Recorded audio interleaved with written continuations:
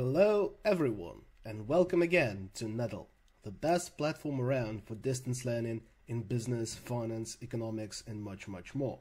My name is Sava, and today we are continuing the discussion of value at risk and various improvements that have been made to the technique of assessing expected losses throughout the decades that address some of the limitations of the original value at risk framework. Today, we're going to talk about the conditional value at risk, or as it is known in the regulatory circles, expected shortfall. That is something that banks are currently advised to calculate in place of value at risk. Conditional value at risk or expected shortfall is designed to address one of the most notable limitations of original value at risk, that is, that value at risk accounts only for a certain percentile of losses and does not look or provide any insight at all at what losses might occur if the situation is even worse than the threshold that we assume. For example, if we calculate the value at risk at 95%, so 5% worst case scenarios, it will only do the cutoff at 5% worst case scenarios and would not give us any insight at all into what might happen if we fall even further down the left tail of the distribution. The conditional value at risk or expected shortfall addresses that by calculating the conditional expectation of losses in n percent worst case scenarios.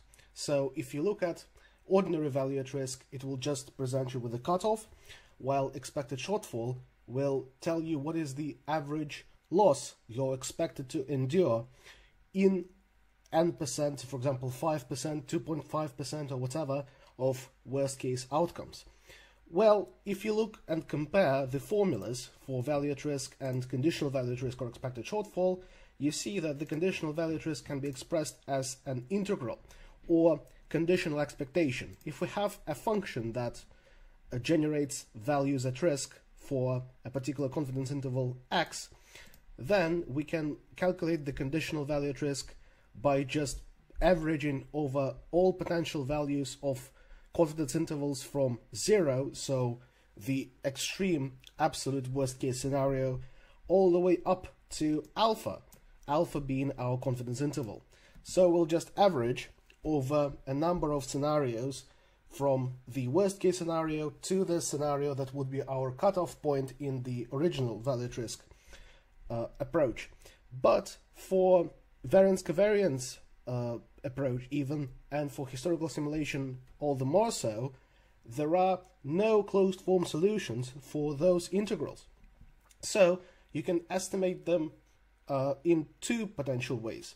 First of all, you could use something like a Monte Carlo simulation, just throw a bunch of random numbers and see where you arrive at.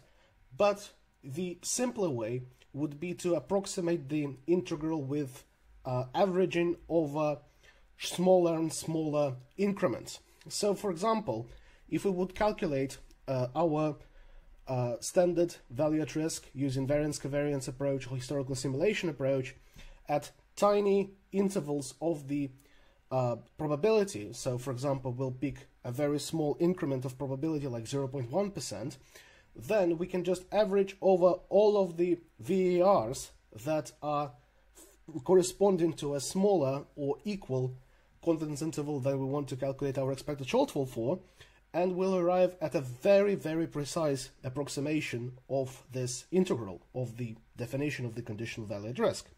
So without further ado, let's just calculate the VCV and historical simulation VAR at a bunch of confidence intervals at uh, reasonably small increments and then uh, calculate the respective conditional value at risks. So we've got our S&P 500 returns for the last five years and uh, we can just calculate the mean as the average return over the last five years on daily data, so 0.04%, and uh, the standard deviation we can calculate it just using the stdev.s formula again over the whole area of returns. Then the variance covariance approach VAR would be very straightforward to calculate by just using the sample mean that we need to log. Then we need to add our sample standard deviation and multiply it by the z-stat that corresponds to a particular confidence interval. So norm S I in V, inverse normal distribution, with probability corresponding to this particular confidence interval. So in that case, it would be the inverse standard normal distribution for 0.1%. And we'll arrive at minus 2.58%, which will correspond to 2.58% loss within a day. And then we can reinforce this formula for all of those confidence intervals and see that the higher the confidence interval is, the lower is the loss under the variance covariance approach, which is really intuitive. Now for the historical simulation approach, it's even easier. We just need to apply the percentile exclusive function over the array of historical returns, locking all of the cells on the way. And then as our percentile, we'll just need to use the respective confidence intervals again. And that will generate historical simulation VARs for each of those corresponding confidence intervals. And if you are attentive enough, you can see that here confidence intervals go in increments of 0.1%. So with reasonable accuracy, we will be able to calculate conditional VARs, expected shortfalls for both of these methods by just averaging over respective range of VARs.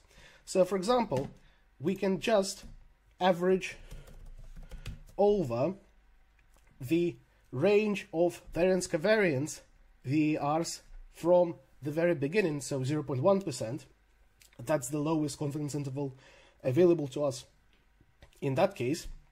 So we'll start at 0.1% and we'll lock the row so that it doesn't change as we drag this down up to the current value of the confidence interval. And then we can drag this across so it calculates that for the historical simulation VAR as well. And the bottom right click it all the way down.